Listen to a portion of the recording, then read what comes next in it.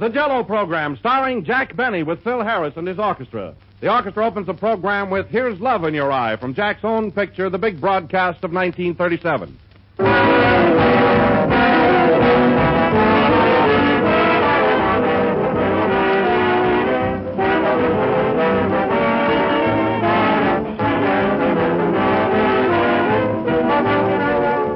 Hang out the welcome sign. Strike up the band. Jack Benny's back with us again.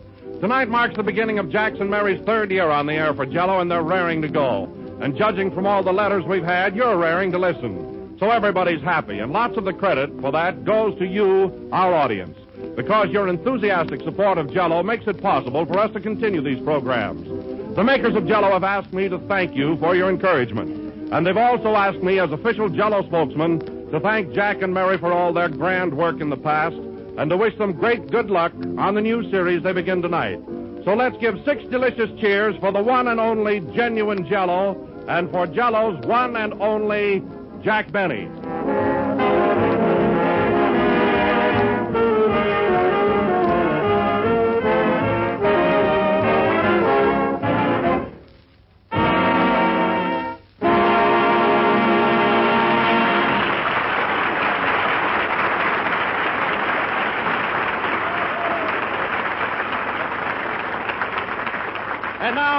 And gentlemen, after four months' vacation, we present to you the man the whole world is waiting to hear.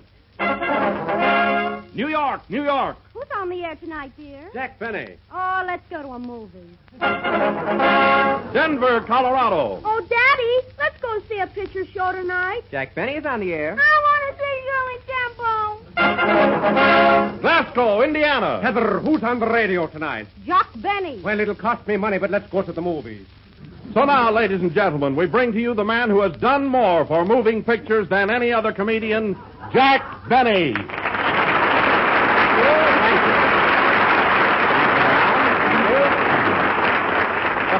Hey, Don.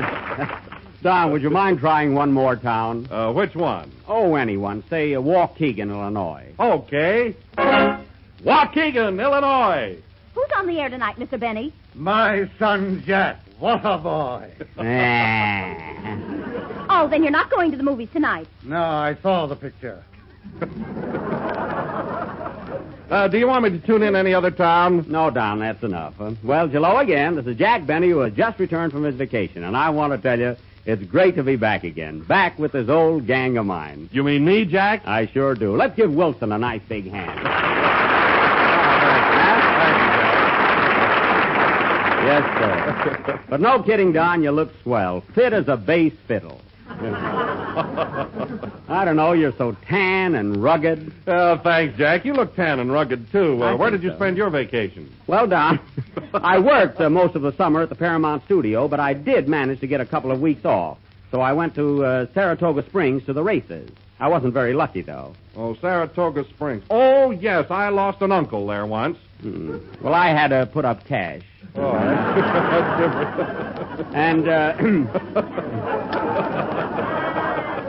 and then I spent a couple of weeks camping up in the Adirondacks. Oh, that's right. Uh, you told me you were going to do that. Yeah, and by the way, Don, I want to thank you for lending me your shirt. Oh, that's all right. It was swell. I had the only tent with a soft collar.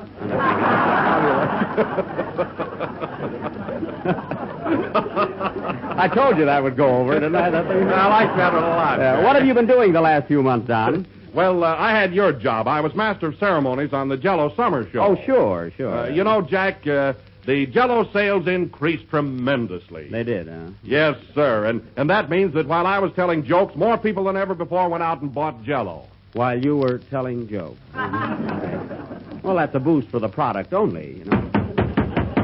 Come in. Uh, pardon me. Uh, Lewis is my name. I'm a reporter on the Radio Guide. Oh, yes, yes. I'm here to get an interview. Oh, of course, certainly. Uh, pardon me, Don. Has Kenny Baker arrived yet? Not yet. Thanks. I'll wait. Hey, you know, uh, I'm uh, Jack Benny. Yes, I know. Uh, what were we talking about, Don? Oh, you were saying how tan and rugged I look. Oh, I thought we went further than that. Uh, oh, Don, look who's here. Hello, Don. Hello, Jack. Hello, everybody. Hello, Mary. Hello, Mary. Well, uh, Mary, it's good to see you. You're looking great. You haven't changed a bit. You look good too, Jack. Gee, you're so tan and ragged.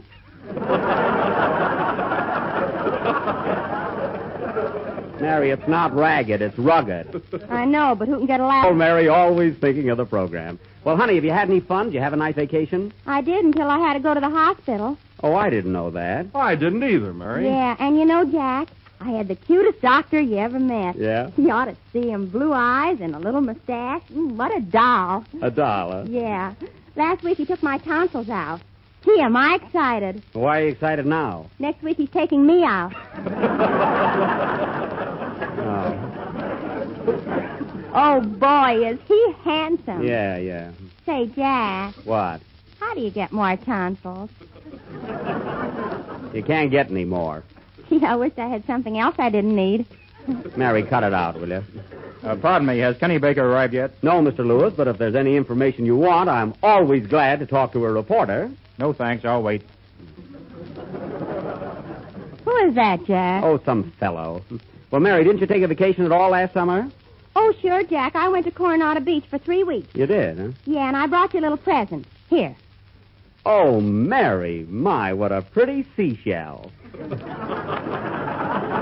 goodness, huh? See, just what I needed. Well, Let's see what it says on it. Oh, souvenir of Coronado Beach. Oh, gee. And you know, Jack, if you put it up to your ear, you can hear music. No kidding, I'll try it. Mary, I don't hear any music. You don't? No. Oh, I forgot to tell you, you got to put your other ear up to a radio. Oh, I see. Well, Jack. Yes, Don. Uh, Phil Harris is here. You haven't forgotten about him, have you? Oh, Phil, of course. Gee, I'm sorry. Ladies and gentlemen, I want you to meet a new addition to our little group. That famous orchestra leader, Phil Harris.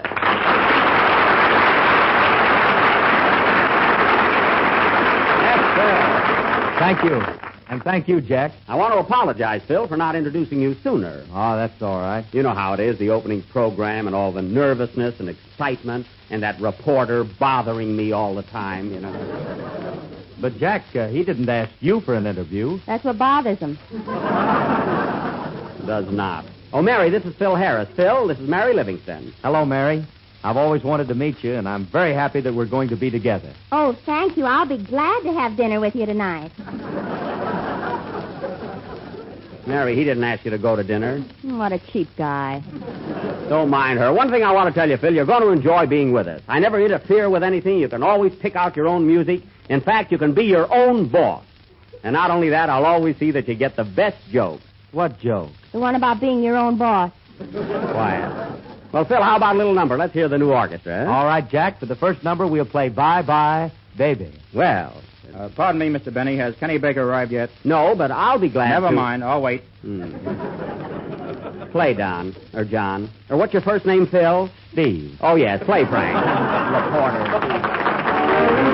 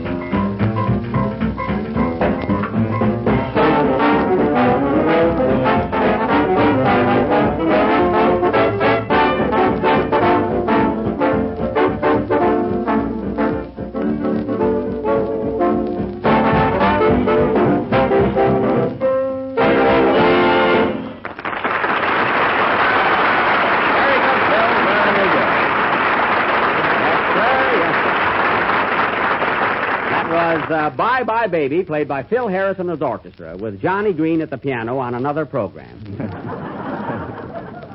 and I want to tell you, Phil, as one musician to another, that's excellent music.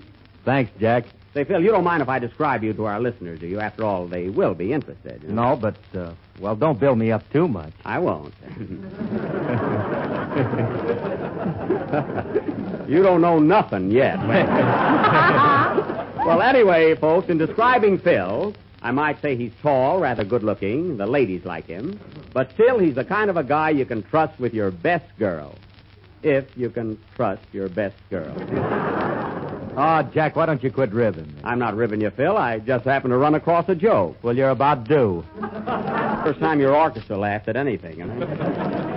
the first program. Well, anyway, folks, I said before, Phil is the romantic tri- type.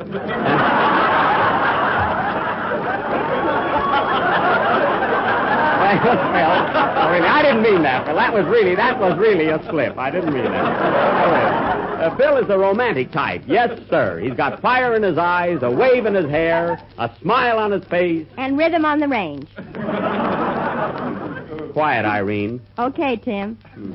You know, Jack, Phil Harris is cute, isn't he? Yeah. He looks just like my doctor. Mary, forget that doctor, will you? Gee, I can't get him off my mind. Oh, doctor. I wish you'd stayed home till you came out of the ether. Suppose I'm going to hear about that guy all season, huh? Uh, pardon me, are you sure Kenny Baker hasn't arrived yet? No, Mr. Lewis, I know he hasn't. Then you, Mr. Benny, tell me. Do you think radio is here to stay? Yes, sir. Well, I'm not. Goodbye. I knew I'd get an interview. Say, Don. Yes, Jack. Uh, open the closet and let Kenny out. Okay. Here he is.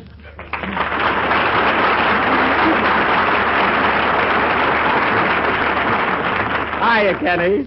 Hello. Oh, Kenny, you're not sore because I locked you in the closet, are you? No, but you didn't have to hang me on a hook. Well, I'm always neat. hey, I was saving you for that big entrance. You heard that applause, didn't you? Oh, sure. Thanks, Jack. Certainly. Hello, Kenny. Hello, Mary. Hiya, Don. Hello, Kenny. Say, Kenny, have you noticed uh, Don's put on a lot of weight? Yeah, he looks so ton and rugged.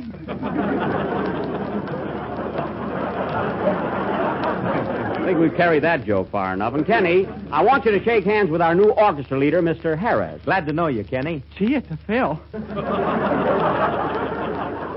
I knew he was going to say that. And why didn't you stop him? Oh, I took your line. I'm sorry, man. Well, tell me, uh... tell me, Kenny.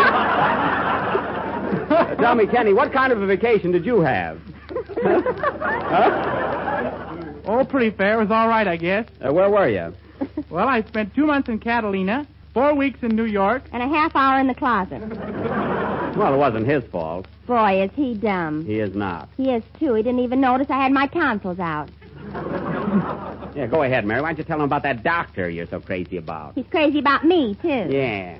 Well, Kenny, it's been a long time since we heard you sing. How about a little number right now? All right, Jack. I'll sing The Way You Look Tonight. Oh, your voice is better than that, Kenny, huh? Uh, hey, I didn't think that was going to go over that big, did it? Well, uh, go ahead. Oh, the phone. Wait a minute. Hello? Yes? Oh, it's for you, Mary. Uh, hello? Yes? Oh, hello, doctor. It's my doctor, Jack. All right, stop trembling. How are my tonsils? That's good. Hmm. What's that? You have? Well, I've been thinking of you, too. Wish you'd leave her romance out of this program. Shh. What? oh, doctor. No. No, Doc, you'll have to coax me. No. Hmm. No, you'll have to coax me. You'll have to coax me. Fine. Oh, doctor, this Oh. is so sudden. What does he want, Mary? A check for the operation. Oh. Some nerve. I'm glad I met Phil Harris. Yeah, sing, Kenny.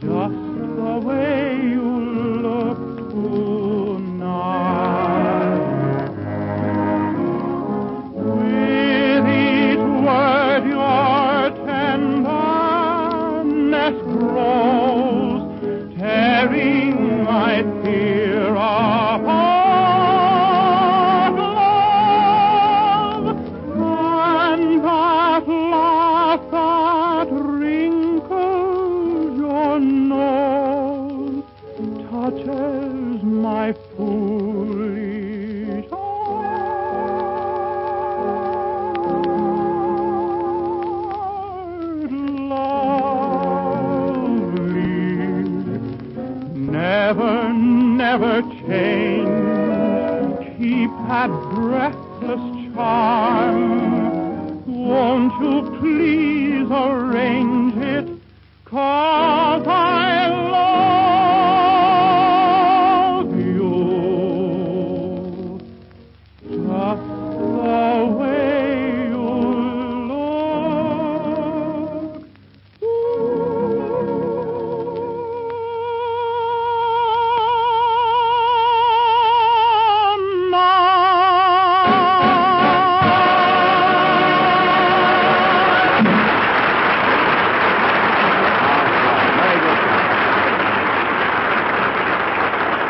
Great, great.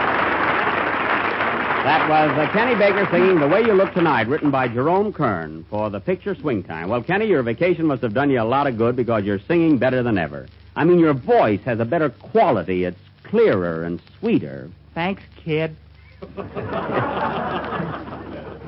Kid, well, time marches backward. Say, Jack, Uh. will you do me a favor? What is it? hmm? I brought my girl over to our first broadcast, and she's dying to meet you. She just wants to say hello. Oh, I didn't know you had a girl. Sure. I met her this summer over at Catalina. Boy, she thinks I'm pretty hot. Well, Bring her in, Kenny. I'll be glad to meet her. All right. She's kind of dopey, though. Yeah, I figured that, yeah. Uh, bring her in, huh? Come here, honey. I want you to meet Jack Benny. Oh. Mhm. Hello. Hello yourself and see how you like it. Well, well, so you're the little girl from Catalina. Yeah. What's your name? Lena Katz. Oh, go on. Who told you to say that? Kenny, ain't he screwy? Well, Kenny, you sure know how to pick him. You got a nice little girl there. Yes, but she's fickle. She likes Fred MacMurray, too. Oh, Fred MacMurray, the movie star? Yeah, he's my dream man. She's smarter than I thought she was. Mary. So you like uh, Fred MacMurray, huh? I'll say. Gee, I'd go to see him even if it wasn't bank night.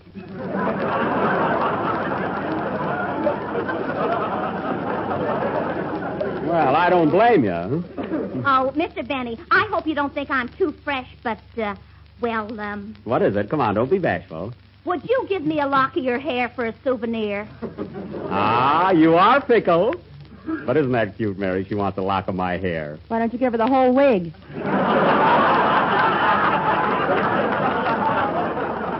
What, and catch a cold?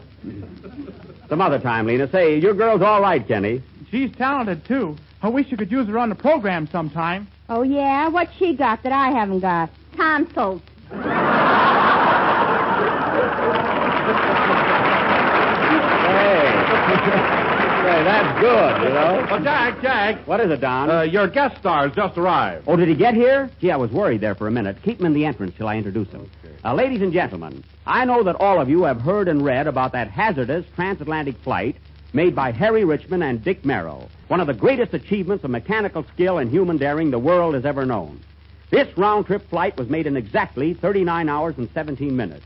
What courage, what stamina to endure the rigors of such a flight. So now, ladies and gentlemen, it is with great honor and distinction that I present to you the man who drove the truck that carried the gas that filled the tank of Harry Richman's plane. None other than Mr. Samuel T. Butchviner.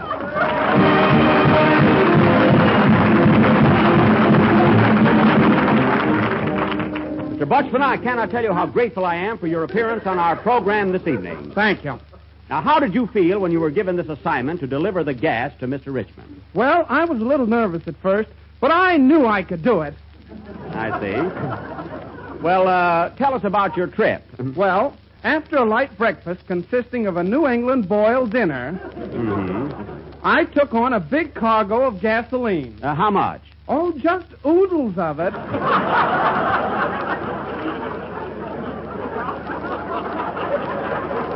Oodles of gasoline. Yes, well, anyway, I swung into my truck and took off at exactly 3.10 a.m. From the gas station? Uh-huh. I made moderate speed through 59th Street until I reached the Queensboro Bridge, and then I let her out. How thrilling. From then on, it was smooth driving until I reached Flushing Boulevard. Oh, Flushing. Is that that winding street? No, it's a straight flush. Hmm, Now, tell me, on your trip to the airport, did you encounter any headwinds? Yes, but it was all right. For buoyancy, I'd filled my truck with 40,000 cannonballs. Hmm. Now, what kind of a reception did you receive on your arrival at the airport? It was sensational. And what did Mr. Richman say to you when you delivered the gas? I'll pay you later. I see. now, Mr. Butchman, before I lose my temper entirely, uh, besides driving a truck, what other notable contribution to aviation have you made? Well, during the World War, I took up flying. Oh, you did? Uh, were you a promising student? Oh, yes. My instructor told me that in no time I'd make an ace of myself.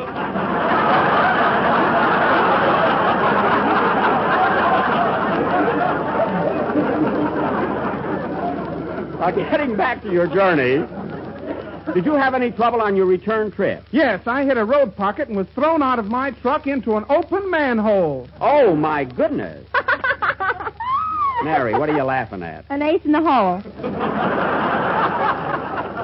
Look, now, just uh, one more question. Did you make this trip alone? No, I had my assistant driver with me, Mr. Borscht.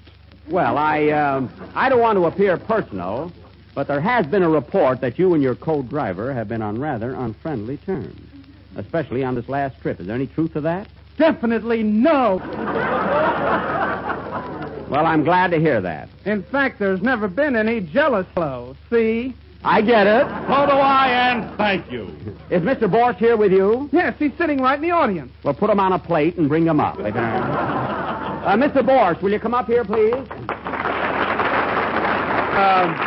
I wish I had known this sooner. So you also made this trip, huh? Yes, sir. Well, tell me, when you get behind the wheel of a truck, what road do you like to travel best? You mean my favorite highway? Yes. Oh, Jack, give me the road, the white winding highway. Then let me know the unbeaten byway, and I'll travel along,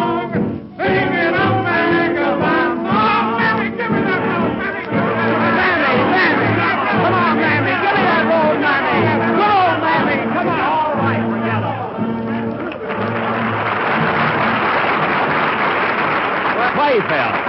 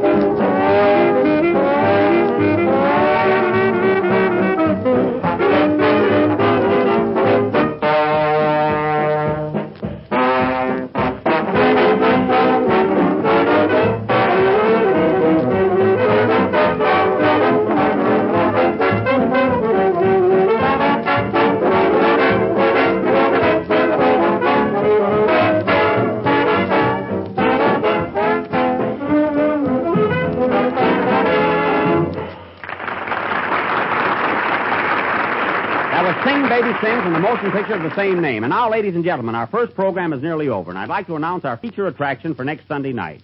Most of you have read that outstanding novel by Hervey Allen called Anthony Adverse. And many of you have already seen Warner Brothers' great production. If you haven't, see it this week. Because next Sunday night, we are going to present our version of that famous classic. Our own super, gigantic, stupid, uh, stupendous, colossal presentation, Anthony Adverse. Don't miss it, folks. Next Sunday night, you'll cheer. You'll laugh. you'll cry.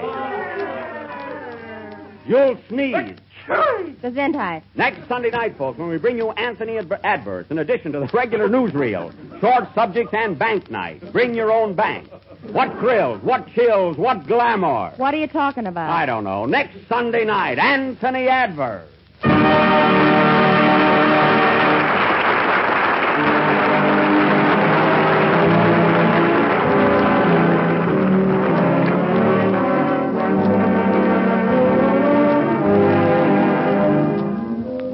I've a real piece of news for you tonight. Grand good news. The makers of Jello now present you with a brand new product. Jello chocolate pudding, the best tasting chocolate pudding that's ever come your way. It's smoother, it's creamier, it's more chocolatey. Jello chocolate pudding has that swell homemade flavor, the same goodness you used to enjoy when your grandmother made chocolate pudding. And Jello chocolate pudding is so easy to make. Just mix the contents of the package with some milk in the top of your double boiler and let it cook until it becomes thick and satin smooth. Then, when the mixture's cooled, pour it into the sherbet glasses. And you're ready to surprise your friends and family with a fine, rich, thoroughly delicious chocolate pudding. Each package gives you six servings and sells for the same low price as Jello. Ask your grocer for Jello chocolate pudding in the morning. Remember the name Jello chocolate pudding.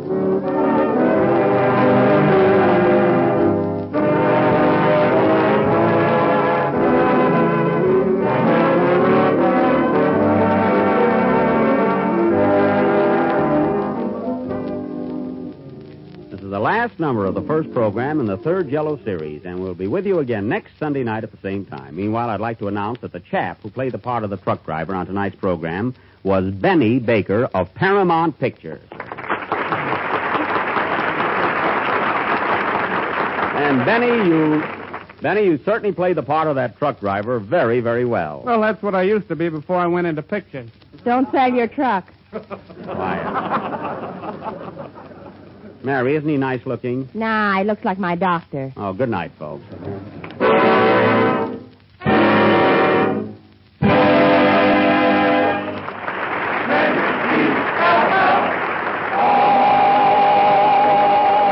The Jello program starring Jack Benny has originated in the NBC studios in Hollywood over the Red Network. This is the National Broadcasting Company.